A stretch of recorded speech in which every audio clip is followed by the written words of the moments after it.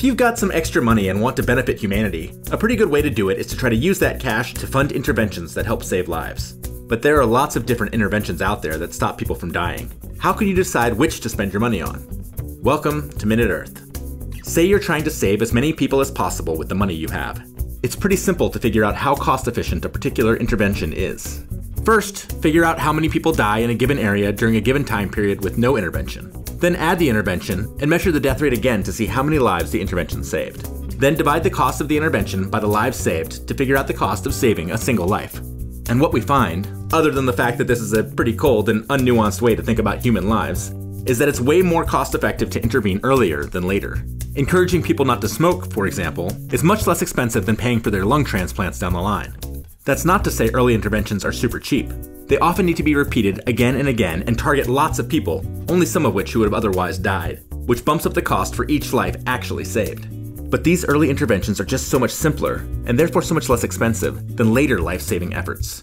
And there are tons of different early, super cost effective interventions, like giving mosquito nets to people in malaria prone areas, and one of my favorites, just giving cash to poor people so they can take care of their own basic needs. And at the very top of the pile, the cheapest way to save a life is to give people in certain areas capsules of vitamin A.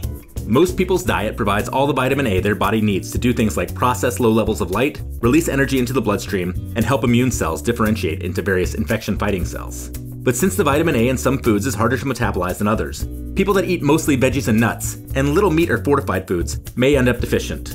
And that causes all sorts of problems, like diarrhea, blindness, and bad cases of measles an estimated 200 million people, mostly in places like sub Saharan Africa and the Indian subcontinent, have vitamin A deficiency, and 200,000 of them die every year as a result. More people than die worldwide from drug overdoses and warfare. Luckily, though, vitamin A deficiency is also one of the easiest problems to prevent.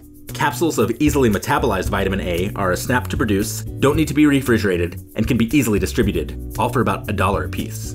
One study found that in certain areas with high levels of deaths due to vitamin A deficiency, every quarter of a million dollars or so spent on vitamin A distribution saved almost 100 lives. Wow.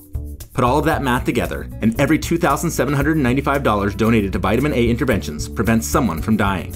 And that means that while there are many, many ways to help make a difference in the world, when it comes to cost effective life saving, spending money on vitamin A is a pretty sweet pill to swallow. At Minute Earth, we love digging into the data, and a lot of the data in this video came from the work of this video's sponsor, GiveWell. GiveWell's mission is to research the effectiveness of various charities in order to help people make more informed giving choices. Their Maximum Impact Fund sends money directly, and with no fees, to charities that are best positioned to help save lives at any given moment. This year, that fund sent more than $10 million to Helen Keller International, which provides vitamin A supplements to children under age 5. In other words, donors to that fund will help save more than 3,500 lives in 2021 alone. Right now, first time donors to Helen Keller International or any of GiveWell's other top rated charities will have their donations matched dollar for dollar up to $250. Click on the link below to donate and use the fundraiser code MINUTEEARTH at checkout to make sure your donation gets matched.